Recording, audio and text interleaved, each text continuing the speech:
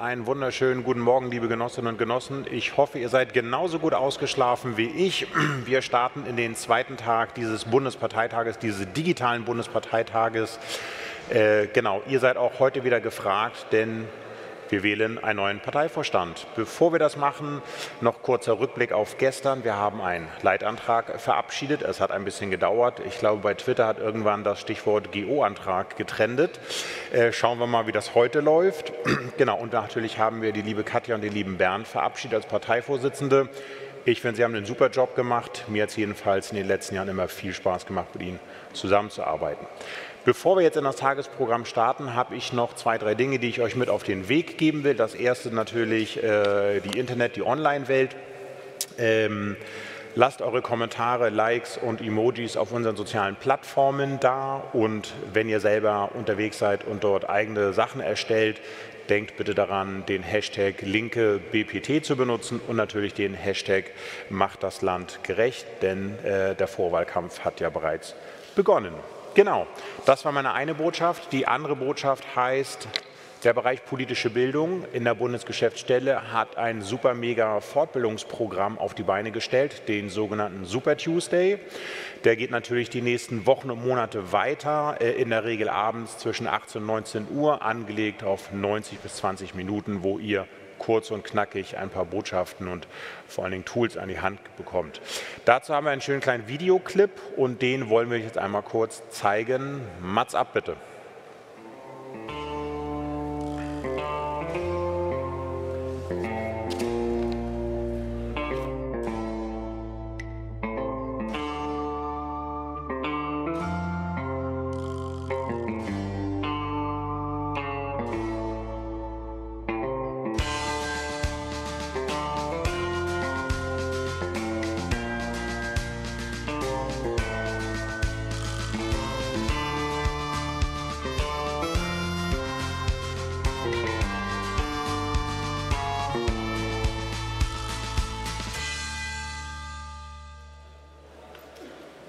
So, das war der Werbeclip für den Super Tuesday, den wir jeden Dienstag im Bereich politische Bildung machen. Ich will noch kurz davon weitererzählen, äh, wenn ihr euch anmeldet äh, auf der, unserer Webseite nächste Woche Dienstag, äh, darf ich, habe ich die Ehre, euch äh, den nächstes Programm zu gestalten, nämlich da geht es um das Thema Linksaktiv, also neue Kontakte machen und Menschen in den Wahlkampf einbinden. Und in der Woche darauf gibt es auch wieder ein schönes Format, nämlich das offene Wahlkampftreffen. Da wollen wir euch ein paar Inhalte vermitteln und Techniken vermitteln mit dem Ansatz, möglichst viele Menschen, ob Mitglieder oder nicht, ist dabei egal, diese in die offene Wahlkampftreffen zu organisieren, einzubinden und mit ihnen äh, gemeinsam den Wahlkampf zu gestalten.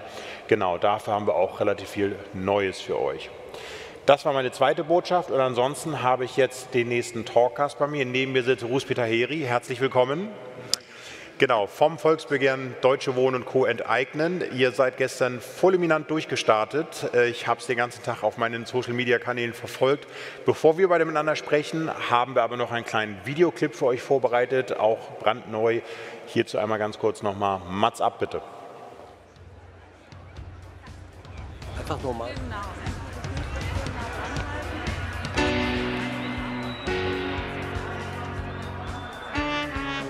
Unsere Vision ist eigentlich ganz einfach. Wir wollen, dass alle Menschen leistbare Miete haben, egal wo man herkommt und egal wie viel Geld man hat. Das Wichtige an der Kampagne Deutsche Wohnen und Co. enteignen ist, dass sie genau da an den rechtlichen Möglichkeiten ansetzt und zu sagen, diese Stadt gehört eigentlich uns und wir sollten darüber auch entscheiden können.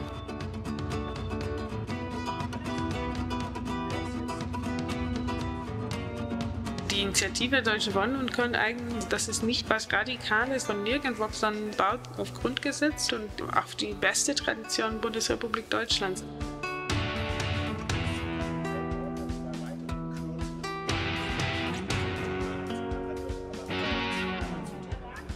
Liebe Berlinerinnen und Berliner, hier am Stand Deutsche Wohnen und Co. enteignen, bitte jetzt fürs Volksbegehren unterschreiben.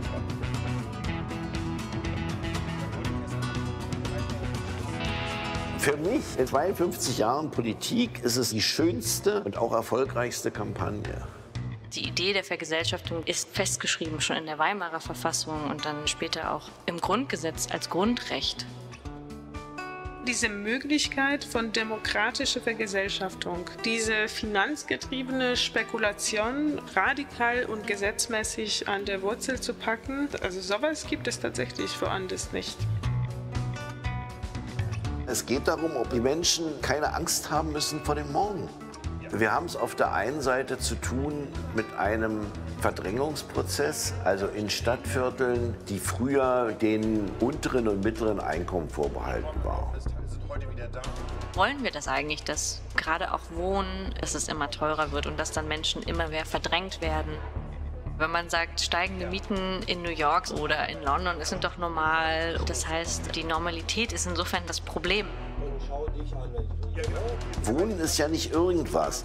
Man braucht eine grundsätzliche Antwort auf die Verhältnisse. Es geht ums Ganze. Letzte Volksabstimmung über Enteignungsmaßnahmen war die 1926 über die Fürstenenteignung. Sonst gab es sowas in Deutschland nicht mehr. Das Geld, mit dem die Großkonzerne spekulieren, das sind unsere Arbeitslöhne. Und das Geld bleibt leider nicht in Berlin. Tatsächlich wissen wir nicht, in welche Briefkastenfirmen von Steueroasen dieses Geld abfließt. Und das bedeutet auch weniger Geld für die Infrastruktur, für den Nahverkehr, für Kita-Plätze. Da stehen die mächtigsten Kapitalfraktionen der Welt dahinter. Ja, bei Deutsche Wohnen ist es BlackRock, die größte Investmentgesellschaft der Welt, die viele Billionen verwaltet. Bei einer Enteignung der Deutschen Wohnen würden die natürlich auch große Verluste erleiden und ich glaube nicht, dass die begeistert darüber sind. Ja. Es profitieren nur sehr, sehr wenige. Das heißt eine massive Umverteilung von unten nach oben. Und ist das nicht eigentlich ungerecht, dass jemand Geld abschöpft für etwas, was er einfach nur besitzt? Du bist in einer ziemlichen Konfrontation mit den Besitzenden, weil sie natürlich wissen, dass wir uns in einem legalen Rahmen bewegen, erstens, und zweitens, dass wir eine Mehrheit der Bevölkerung hinter uns kriegen. Und das macht ihnen totale Sorge. Mit der Vergesellschaftung geht es nicht nur darum, dass Wohnraum in öffentliche Hände bleibt, sondern tatsächlich auch diese demokratische Verwaltung des Wohnraums langfristig zu sichern. Es geht ja um die Frage, können wir uns das Gemeinwohl wieder zurückerobern? Wir wollen und wir werden diese Auseinandersetzung gewinnen, damit unser Berlin weiterhin ein lebenswerter Ort bleibt. Organisiert euch und unterstützt die Kampagne Deutsche Wohnen und Co. enteignen. Denn Berlin hat Eigenbedarf.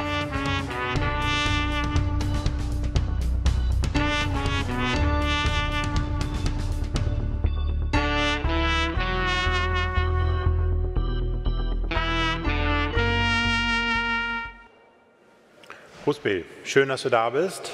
Der Berliner Wohnungsmarkt brennt und das seit längerem. Viele Menschen können sich Wohnungen nicht mehr leisten, ähm, Verdrängungsprozesse finden statt und äh, das haben wir nicht nur in Berlin, sondern in vielen anderen Städten in Deutschland ja auch.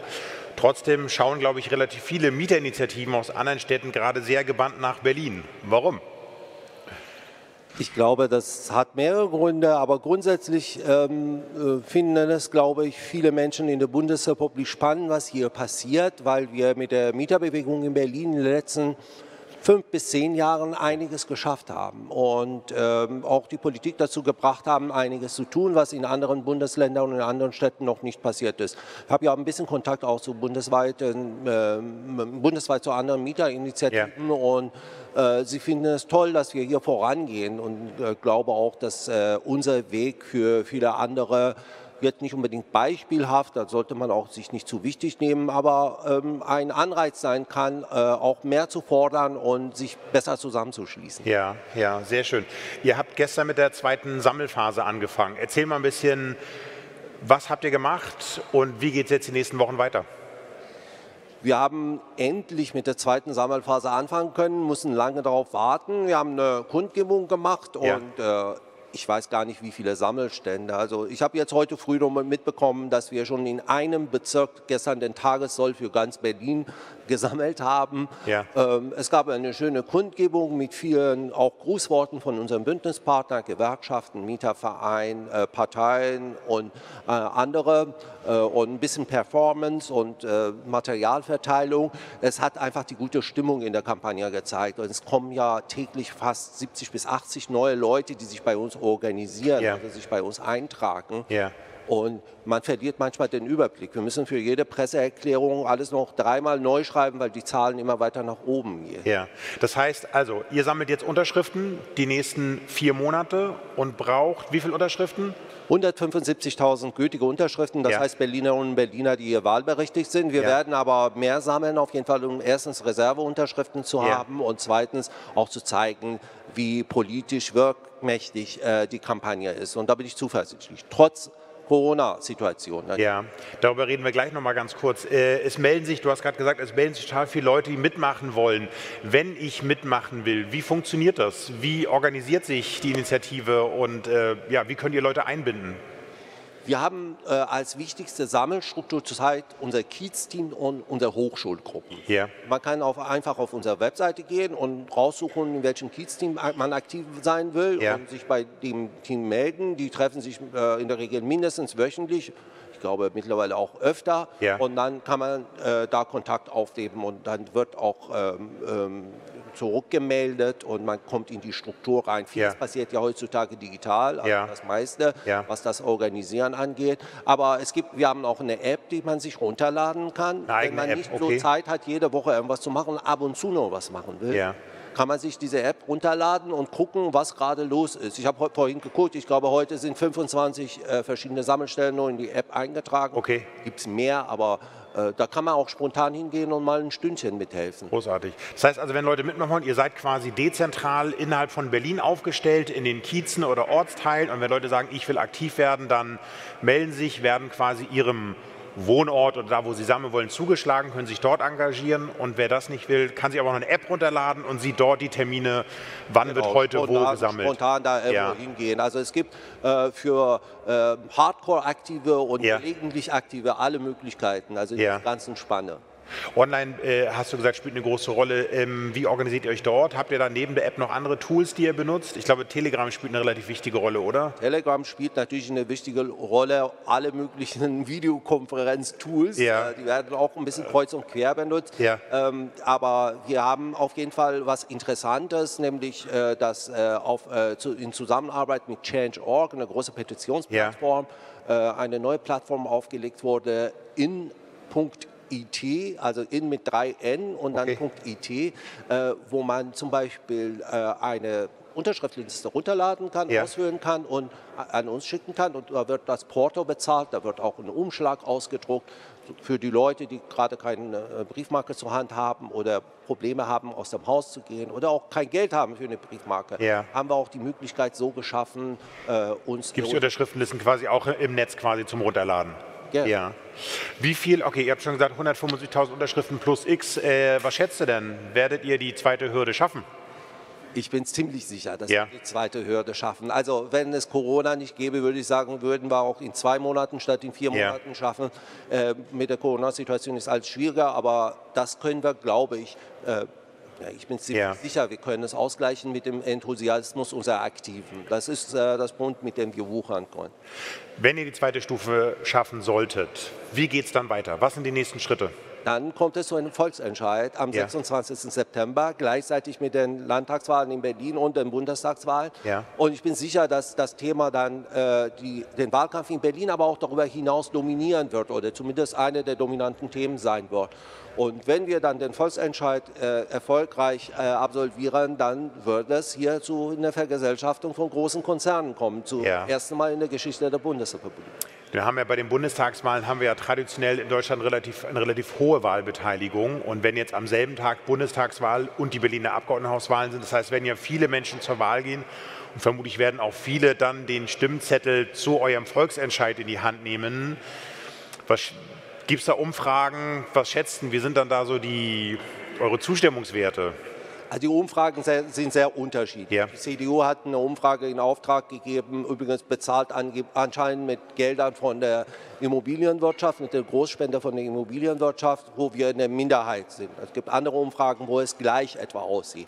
Es wird auf jeden Fall ein harter Kampf, weil Ja. auch unser Gegner uns nichts schenken wird und mit allen möglichen Diffamierungen kommen wird. Das fängt ja jetzt schon an. Ja. Äh, aber wir haben eine realistische Chance, eine Mehrheit zu bekommen. Aber dafür müssen wir noch die nächsten Monate ordentlich kämpfen. Sowohl bei der Unterschriftensammlung und danach im Rahmen des Wahlkampfes. Ein offenes Rennen, sagst du.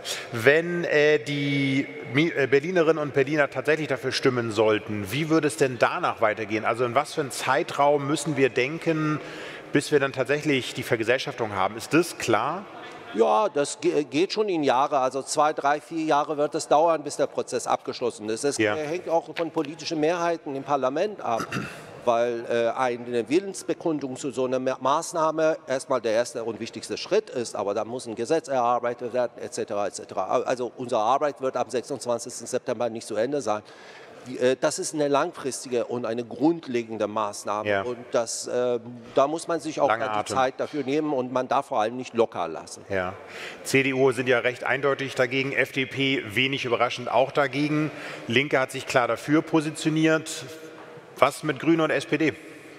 Die Grünen haben sich grundsätzlich zu unseren Zielen bekannt, äh, haben aber Zweifel bezüglich der konkreten Ausgestaltung, wie wir das dann vorschlagen. Ja.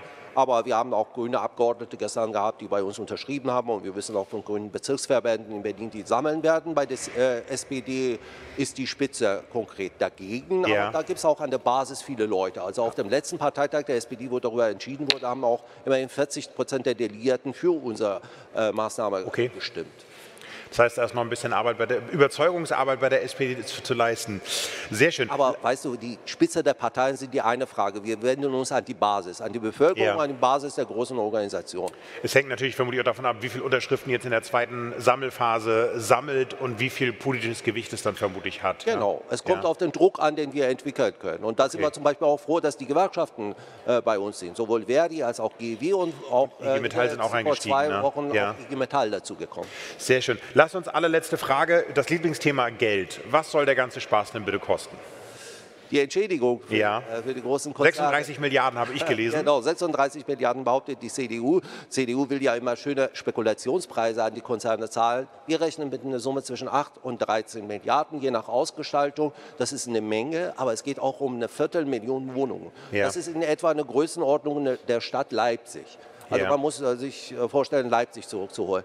Und wir haben auch ein äh, Modell entwickelt, das kann man sich auch auf unserer Webseite angucken, auch mit schönen Animationsfilmen erklärt, wonach es haushaltsneutral sein wird. Ja. Die Gesellschaft, die diese Wohnungen übernimmt, selbst Kredite aufnehmen kann, als Sicherheit die Wohnungen hat und über 30, 40 Jahre, über 40 Jahre etwa zurückzahlen kann. Das Ihr ist ein Modell, was dann. bei meisten Immobiliengeschäften, egal ob privat oder öffentlich, auch getätigt wird. Wenn wir die Aktionäre nicht mehr bezahlen müssen, Ja. dann haben wir auch genug Geld, um Kredite zurückzahlen und trotzdem Reparaturen zu veranlassen, den Hausmeister ordentlich zu bezahlen Ja. und auch die Mieten nicht erhöhen zu müssen. Okay, das heißt also sozusagen haushaltsneutral wäre quasi euer Stichwort zum Thema Geld. Okay, ich bedanke mich ganz herzlich bei dir, Rusby. Schön, dass du da warst. Ähm, Danke für die Einladung. Euch noch viel Erfolg. Äh, genau, die, die Unterschriftensammlung geht noch bis zum 25. Juni diesen Jahres. Wer einsteigen will, kann sich die App herunterladen. Ich glaube, sie heißt auch Deutsche Wohnen enteignen, wenn ich das richtig sehe, in den App Stores.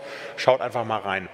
Sehr schön. Wir kommen zu unserem nächsten Thema. Wir hatten gestern schon einen sehr sympathischen Gast bei uns, nämlich Hannes Husten, den Sänger der Band Sind, die sich unter anderem bei dem Bündnis Alarmstufe Rot stark machen. Und für dieses Bündnis gibt es auch noch einen schönen Videoclip. Insofern sage ich jetzt einfach Mats ab für Alarmstufe Rot, bitte.